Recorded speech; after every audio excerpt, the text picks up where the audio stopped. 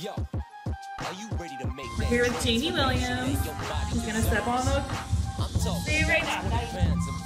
181.7. Now, Jami Williams getting on the scale. Started at 181.7 and now it's 160.1. Nice. Beautiful. That's it. Really? Yay. That's it. Come on. That effort and succeed. Put your money where your bad is. That's it. And watch your body.